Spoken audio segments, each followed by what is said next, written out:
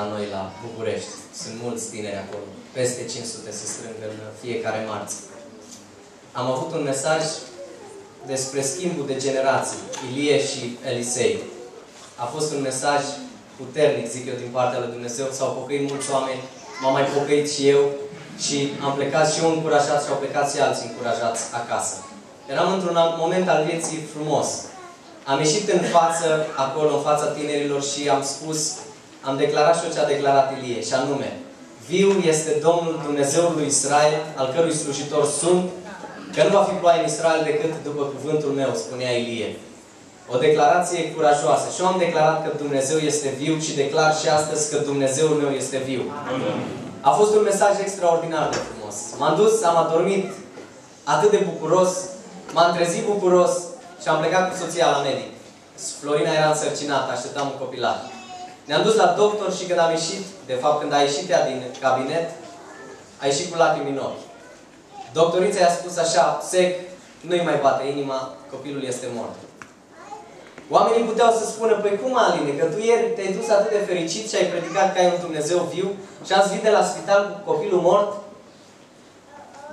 Puteam să stau oricând în fața declarațiilor pe care le-am făcut pentru că sunt aproape de 30 de ani și poate chiar și după legea mozaică mai am un an și aș putea să predic.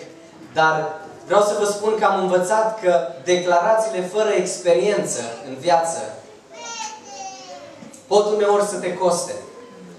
Și eu nu am deschis gura așa fără să experimentez unele lucruri în viață. Am cunoscut ce înseamnă să fii în depresie profundă, să-ți dorești mai mult moartea decât viață. Am învățat de mic ce înseamnă suferința.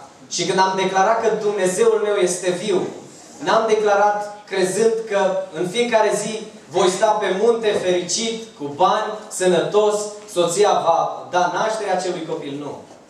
Ce am vorbit despre Ilie, că acest gigant al Vechiului Testament, la un moment dat, a ajuns să-și dorească moartea. Și când am zis că Dumnezeul meu este viu, am zis pentru că Dumnezeul acesta s-a dus după Ilie într-o stare de depresie. Și acolo în peștere a spus într-un susurr blând, ieși și stai pe munte înaintea Domnului.